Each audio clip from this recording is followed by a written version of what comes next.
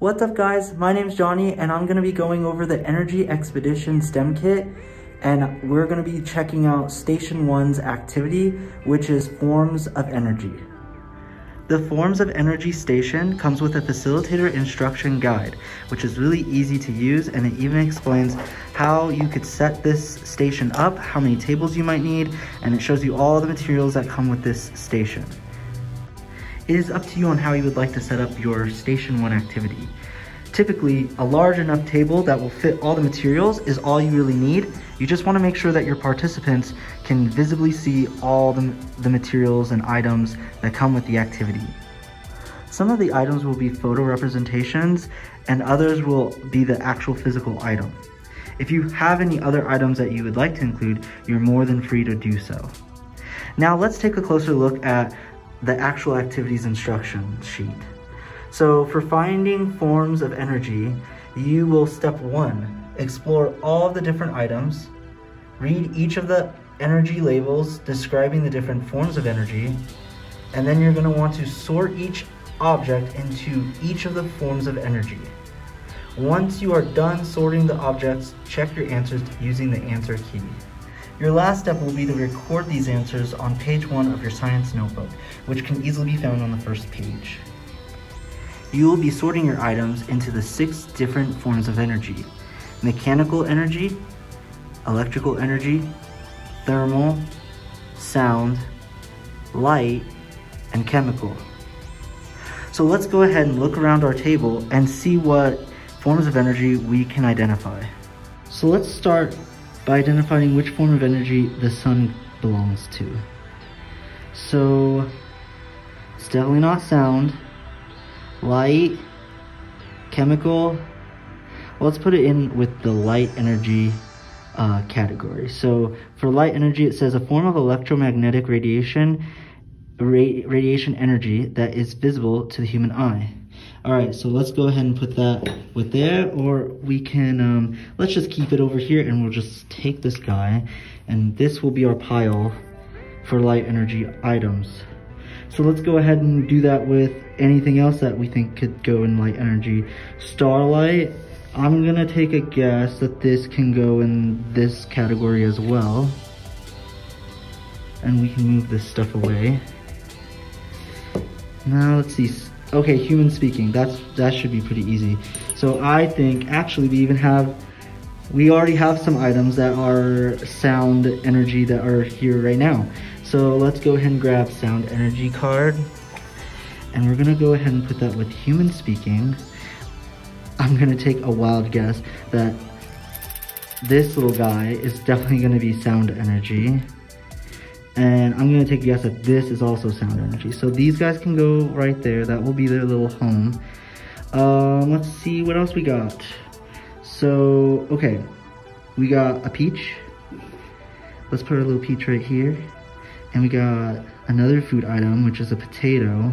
So when I think of this type of stuff, I'm thinking when your body eats it, that's, your body is taking in calories. So that is a form of chemical energy. I would definitely believe that that's what that is. And so I'm gonna take the chemical energy, which says energy stored in the bonds of molecules that is released during a chemical reaction. Yes, I think that fits the description of these food items perfectly. Let's see if there's anything else. I don't really see anything else that would fit with that. All right, so next, why don't we go with thermal? All right, so thermal would be energy created through the vibration of molecules creating heat. Okay, well, we've got something over here. We got the kitchen stove. So this is, I would say this is thermal energy. And what is this little guy over here? All right, we get to play with this fun little, uh, little guy right here. So touch and see a change. Okay, what do we expect will happen? Okay, wait. There we go. This is a um, thermal sensitive paper that we have inside of here.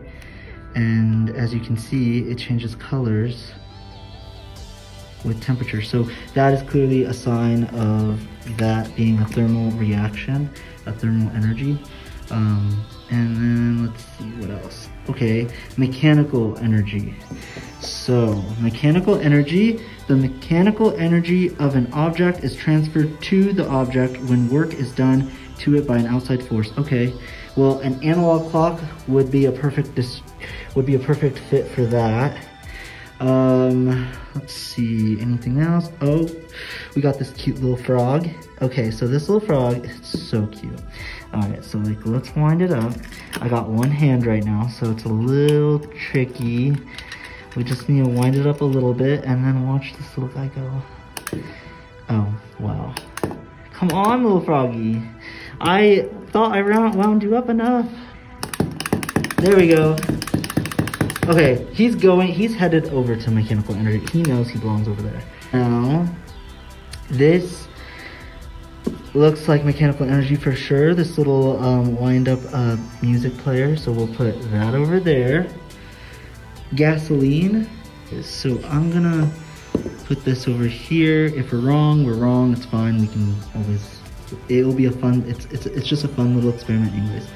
All right, and then let's see, we got electrical, energy, this is our last card. So energy made available for use by the flow of an electric charge char created by the attraction and repulsion of charged particles. Okay, so that can go right there. The flashlight is already at home with that. This little electric candle, how um, funny that a candle would be over here, but yes, it's an electric candle, so that gets to go in electrical energy. These would go in electrical energy. They take electricity. And so we're gonna put those at home there. And I think, oh, and lightning. Okay, I'm gonna put it with electrical and hope for the best. I'm gonna put this with chemical because that's a chemical reaction to make the battery power. So hoping this is right. Okay, it's time to check our decisions or my decisions, which I'm hoping are correct. Maybe I might be wrong. Okay, okay. Oh my god, yes, I was right about that. I was right about that. Okay, okay, okay. Fruit toy. Yeah, yeah, no, that's in there. Okay, all right. Let's start with thermal energy, liquid crystal sheet. Yes, that is over there.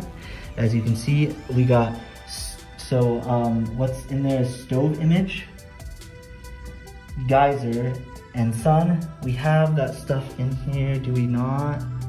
Thermal, wait. Oh, I see. Okay, so apparently there is not a one size fits all for some of these objects. Like you can see that for thermal energy, the sun image can actually, it is thermal, it can fit in thermal, but it can also be sorted in the light energy.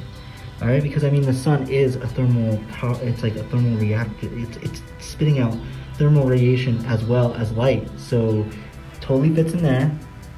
For sound, we got tri the triangle, the maraca, human talking image, and the wind-up music box. Well, that's true because it does the wind-up music box, everything else we already got that, but the wind-up music box, it creates sound, but it's also a mechanical energy, um, like it fits in that in that form of energy. So it can go in either way, either would be correct. Electrical energy, surge protector outlets, all right, computer image, uh, lightning image, battery image chemical energy creating electricity yeah okay uh, light energy LED candle the LED candle should have gone there apparently.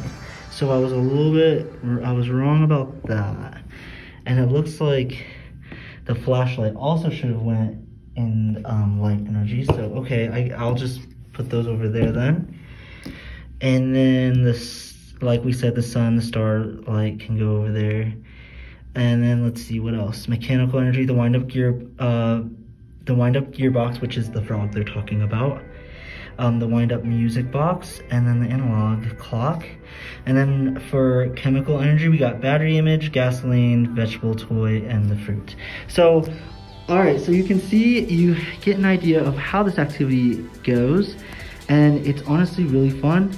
Uh, you know, the participants get to learn about and they have to think about like where do these items fit in the forms of energy and you know you don't really think about like where does this form of energy belong but this activity will make your participants think about that and second guess themselves just like it did for me.